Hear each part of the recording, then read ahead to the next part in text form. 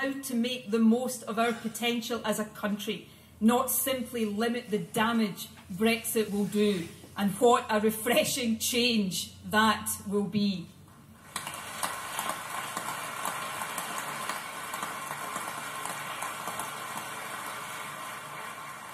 My sense as I travel this country is that people have had enough of the despair and the despondency of Brexit.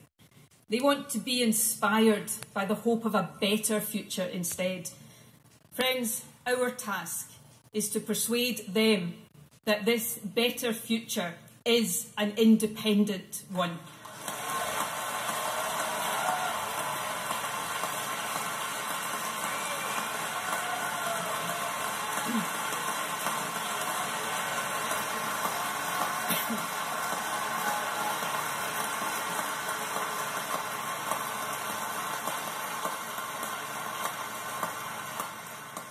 The Growth Commission provides the platform on which we will renew the case for independence.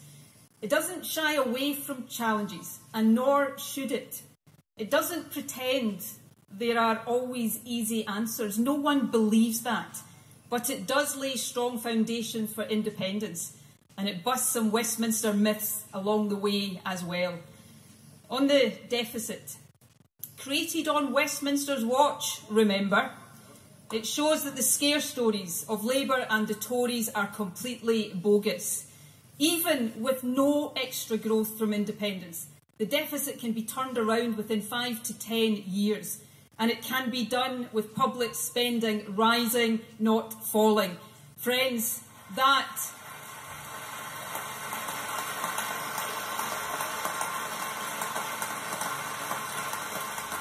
That offers a much brighter future for Scotland than Brexit decline and yet more Westminster austerity.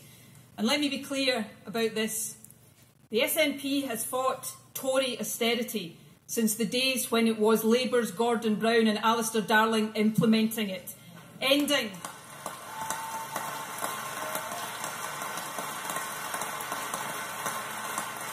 Ending the self defeating damage of austerity is and always will be our priority. The purpose of independence is to build a better country, a stronger economy, and a fairer society. The Growth Commission offers a blueprint of how we can do that. It recognises that independence is about the freedom to make our own choices. It's about equipping ourselves with the full powers to lift people out of poverty, to tackle the inequality that limits our potential. It's about the ability to use our finite oil wealth to build the industries of the future. It's about having the powers to encourage more talented people to live, work and contribute here and making sure that our young people can travel, study and work in other countries too. It's about letting our businesses trade freely across the UK, Europe and beyond. And it's about investing in our National Health Service instead of wasting billions of pounds on trident weapons of mass destruction.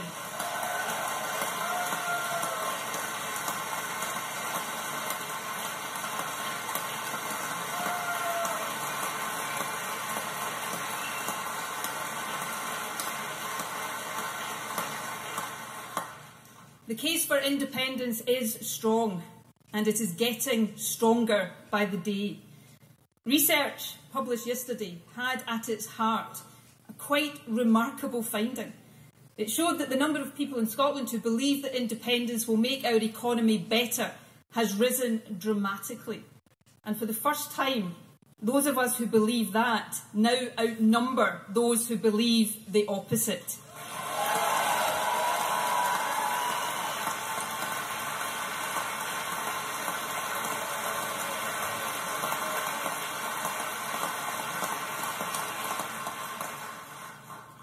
Confidence in the independence case is growing.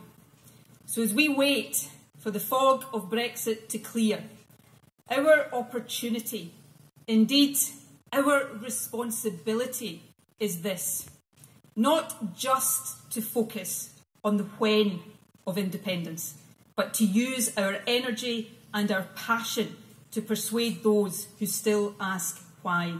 Right now, that is the more important task. And if we do that, let me tell you this I am more certain than ever before that persuading a majority of our fellow citizens that Scotland should be an independent country is well within our grasp.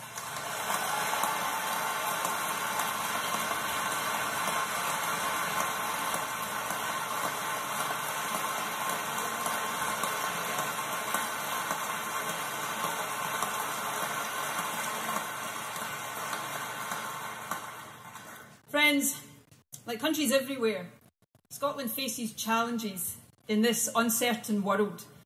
But we have potential aplenty, and we have so much to look forward to. You know, I've been very struck recently by some surveys that have reported on Scottish attitudes to life. It seems we're getting happier. Frankly, I blame the Scottish Government.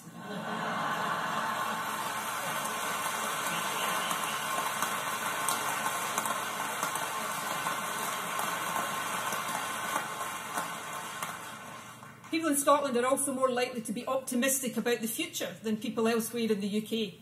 More of us say that our country's best days are ahead of us, and that's despite us not being in the World Cup again. but the serious point is this our message of hope and ambition is in tune with a country that feels optimistic about the future, so let us grasp that opportunity.